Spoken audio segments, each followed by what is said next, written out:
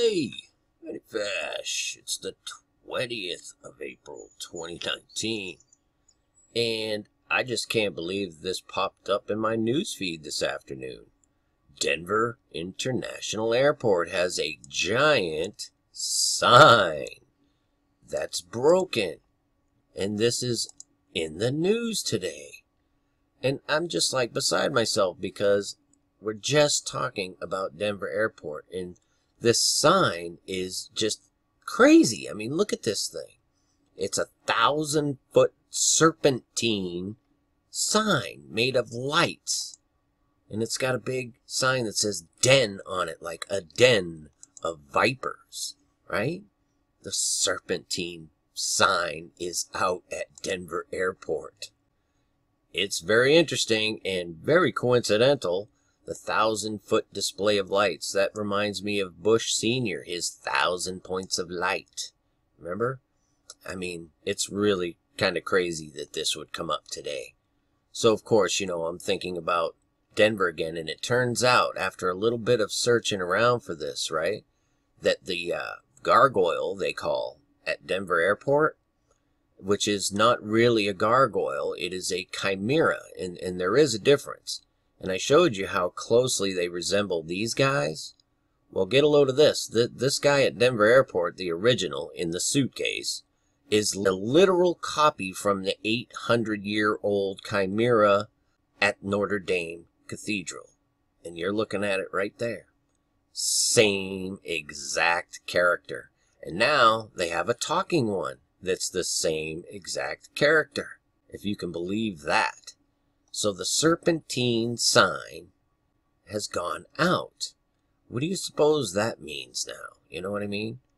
And this talking chimera is just amazing. It, just to look into what a chimera really is, because that's what these things represent. And there is a medical definition of chimera. It's basically two or more species mixed together. I mean, there is a literal medical explanation for this, and I'll link this to you. But it's also a Greek myth that was an awesome fire breathing monster with the head of a lion, the body of a goat, and the tail of a serpent.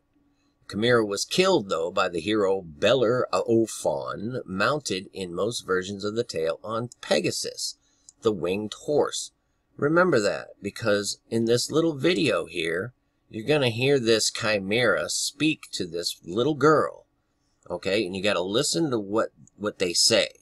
And also, just bear in mind, what is operating this thing? Do, do people really think that they hired someone to uh, operate this thing's cameras in motion and have these quick comebacks to people? I don't think that's the case, but that's another discussion. Listen to what this thing says to this little girl. Need your help. Guess what my favorite food is? What?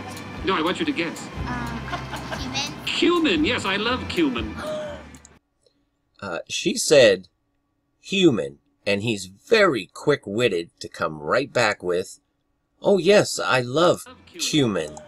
Now, notice what this young lady has on her shirt. She has Pegasus, the winged horse, who defeated the Chimera. This is just crazy, you guys. But that is the literal same one from 900 whatever year old Notre Dame that just burnt down accidentally the other day. There's so much connected to this. No one could ever go through all of it. All I know is this is a war that you got to be engaged in. And you got to know which side you're on. Okay? Or it will defeat you. It just will. And this is your eternal soul we're talking about here. It's pretty important because there's no coincidence in this.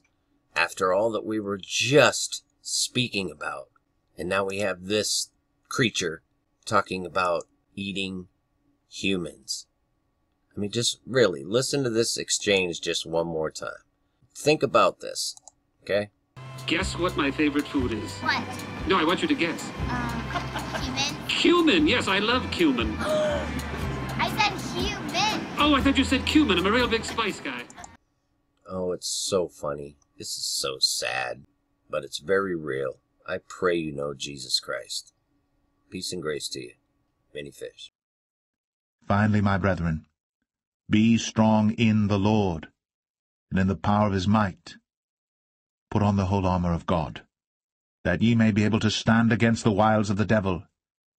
For we wrestle not against flesh and blood, but against principalities, against powers, against the rulers of the darkness of this world, against spiritual wickedness in high places. Wherefore take unto you the whole armour of God,